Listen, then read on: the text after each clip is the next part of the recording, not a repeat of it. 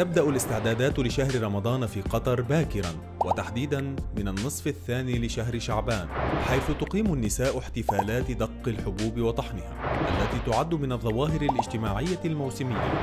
وتستغرق هذه العادة طيلة فترة شهر شعبان. وفيها تشارك النساء الدقاقات والطحانات في طحن كميات كبيرة من القمح بواسطة الرحى لتلبية حاجات العائلات طيلة الشهر الفضيل. وتنشد النساء خلال الطحن أناشيد مختلفة. أبرزها هلا شعبان وهلا شهر الصيام. وأشوف خل ثالث العيد مطروح.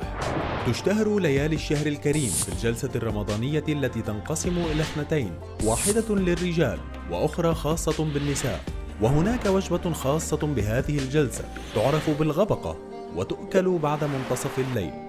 وتشترك قطر مع باقي الدول الخليجية في تقليد رمضاني قديم خاص بالأطفال وهو القرنقعو الذي يقام في ليلة النصف من رمضان. يضع الأطفال القطريون على رؤوسهم أو حول الخصر حزاما من اللونين الذهبي والأسود. يعرف باسم البخنق ويتوجهون بعد صلاة العشاء للتجول بين الأحياء مرددين أغنية القرنقعو ويحصلون من الناس على الحلوى Música